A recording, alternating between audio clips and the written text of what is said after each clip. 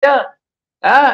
Và cái vấn đề chỗ mà yến hình yến đồ nào đây đó đó, mà điện qua cho cái lê cương để mà xin cả như là góp vốn, bốn người chi cho con vi này 6 tháng tiền nhà. Tôi nói với con chu cha mạnh thường quân đây giàu dữ quá vậy.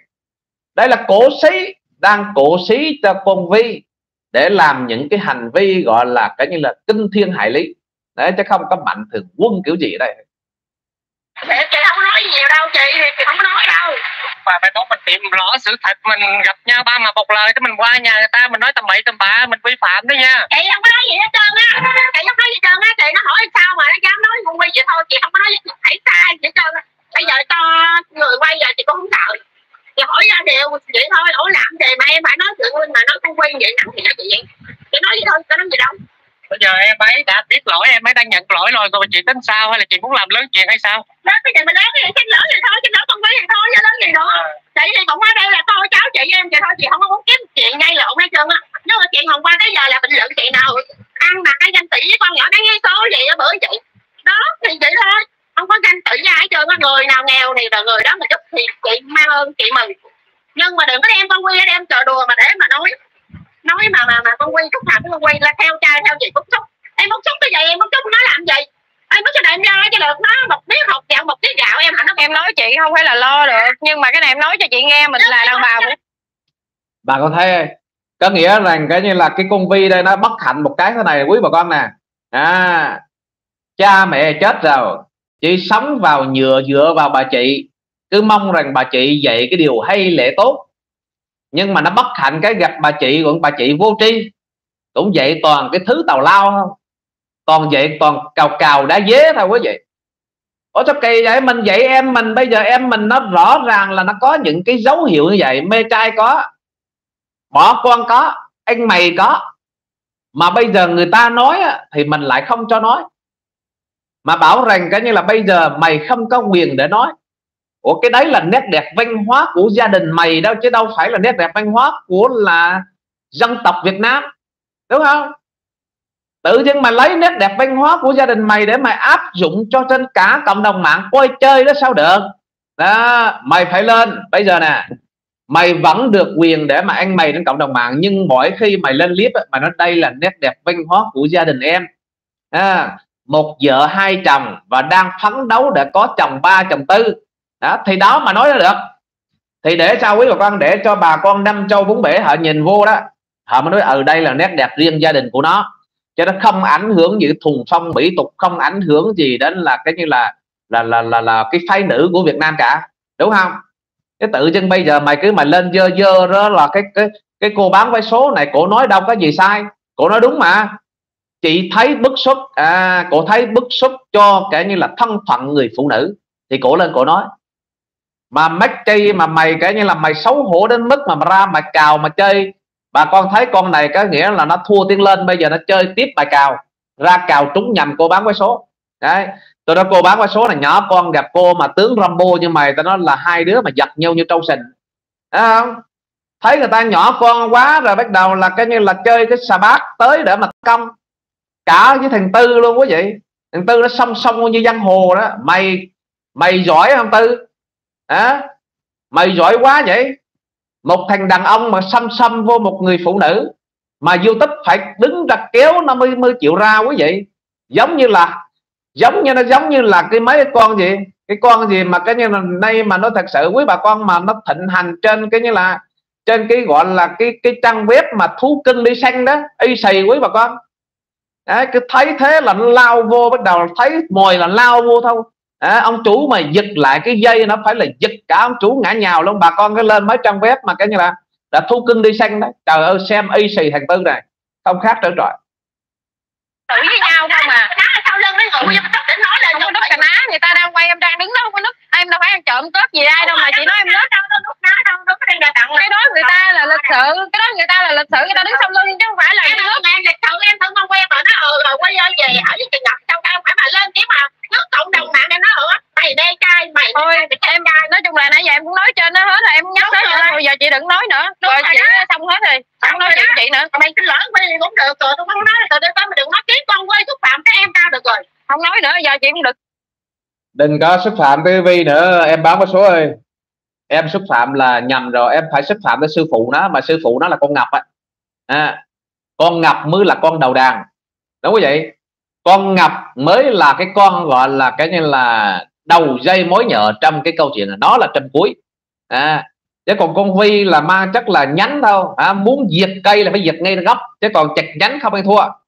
Phải diệt ngay từ con ngọc đó. Đã, con ngọc là một trong những con gọi đầu dây mối nhợ đầu đàn tất cả trong sự vụ này. Tôi nó đang làm công nhân ngon lành mà đùng một cái nghe em mình có căn nhà đùng một cái nghe em mình có tiền mạnh thì quân cho bắt đầu là lớp về nhà để giữ căn nhà và ở biết đó ủa sao kỳ vậy? Đạo lý nào đó ngọc đạo lý nào bây giờ bỏ con để đi nuôi cháu em? Thế con của nó bây giờ đang ở bình dương, mà nó nói là bây giờ nó về để nó lo cho con của con con vi, vì nó thấy mấy đứa nhỏ nó thương. Ở rồi con của em sao? Hả? Trời ơi, cứ thấy người ta làm ăn khá giả quá, bây giờ bắt đầu là gì ở đấy muốn là kiếm trò hay sao em? Cái kỳ vậy? Có nghĩa thấy con em gái mình, trời ơi, bây giờ ở quê đó nó chịu khó, nó dày mặt lên, cộng đồng bạn nó diễn à, rồi bắt đầu người ta cho tiền mà tôi nói kỳ nha quý bà con cái vấn đề đang nghe kỳ ha. Cái chuyện mà một người phụ nữ mà trích nết như con em đó mà vẫn có người cho tiền quý vị cũng hay chứ.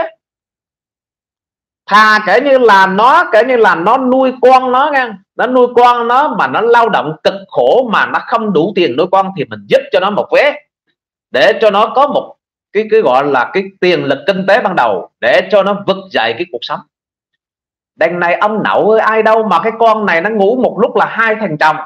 Mà hai thằng chồng không thể mà nuôi nổi con vợ hay sao mà cộng đồng mạng phải cho mạnh thường quân phải lo. Đúng không? Con của nó thì kể như nó gửi rào, con của nó check anh xã hội nuôi rào. Thì bây giờ tôi xin thưa tất cả các bà con cái vấn đề đây, chẳng lẽ bây giờ đi vỗ béo cho nó để cho nó đủ sức? Hả? Cái đây thách kỳ quá quý vị. Tôi nói bây giờ một con phụ nữ mà như võ tách thiên thế này tôi nói quý bà con là có thua. Thua không thể mà nói thật sự cứu vãn được cái thế cờ này. Đó, mà bây giờ đó, mà bây giờ gặp con chị cũng có nết thiệt. Con chị đó mà bây giờ lên để cổ xí cho con em mình, bảo vệ cho con em mình một cách bất chấp, thì tôi hỏi quý bà con cái đạo lý chỗ nào? Bây giờ mình đi ăn mày, mình có những cái gọi là mất nết hư thân cộng đồng mạng lên tiếng đó thì không dám nói mà cả như là bách cả như cô bán vé số đó, là phải đứng ra chịu trận. Có nghĩa là thua chó, cả như là gỡ mèo. Sắp kỳ vậy? Hễ ngập chấm bố. Trời ơi, nhìn cái tướng tôi nói quý bà con, nhìn cái tướng đây đâu phải là cái chuyện dạng dừa đâu. Nhìn khuôn mặt là bà con biết là cái như là, biết con này là nó là cái dạng nào rồi, đúng không? Vô nó cãi với cô bán vé số mà cái kênh cả kênh cả kênh ở đâu cái đâu không? Nói chuyện với em nữa, hết rồi. Tại đó nói vậy đó. Sao em thấy uh, cái chị với số này một mình sao thị làm quá chiều cao tôi bình thường tôi có mấy câu nói tại sao mà con anh phi? Rồi tại vì có bên tôi tóc thì vậy đó khen học vậy đó. Tôi không có đây người biết tới đời con quay là lướt lướt lướt không có bao nhức đầu lắm. Nhưng mà xúc phạm những ngày hôm qua bữa nay là em vậy chị phải nói cho biết. Nói cho biết. Đó bây giờ ở đây youtube nó đăng lên đây có quay lên đây. Ờ nói rồi chị không dẫn tao không dẫn tao là con người là chị đúng em không đúng em đâu phải hung dữ. Ai nói em hung dữ? Em giận hầm hồ. Trời cái câu hầm hồ nó khác hung dữ khác má. À, em hầm hồ. Em sống giống kiểu là cái bài đàn đó à, hèn chi. Hèn chi mà con em nó dẫn hai thằng về cùng lúc nó nằm trong nhà để bắt đầu là cái tha hồ. À, sống kiểu bày đàn thật sự quý vị cái câu chuyện của cô bán vé số này nó rất đơn thuần. Có nghĩa là cô nói một cái sự thật mà dẫn tới cả thằng anh và cả cô này tới để trắng áp cô bán vé số. À, muốn cô bán vé số có những cái lời đính chính lại. Nhưng sao đính chính? Bây giờ nói thật sự cao lắm thì cô nói một câu ờ, thâu bữa đó tôi nói bà đúng quá thâu làm ảnh hưởng đến đầu cơm chả nắm của bà tôi xin lỗi bà. Bữa sau tôi không nói nữa. À, bữa sau tôi chuyển sang nói cái chuyện của chị của bà. Đó không? Thế bây giờ nói thật sự bây giờ tự nhiên cái chuyện đơn giản đấy mà cả cái thằng tư cũng là một thằng đàn ông cũng lưng dài dây rộng. Mà lên đã tấn công cô bán vé số này mạnh thường quân nào mà kể như là cho tiền cho thằng tư này sửa là cái nhà 48 triệu phải nghiên cứu kỹ.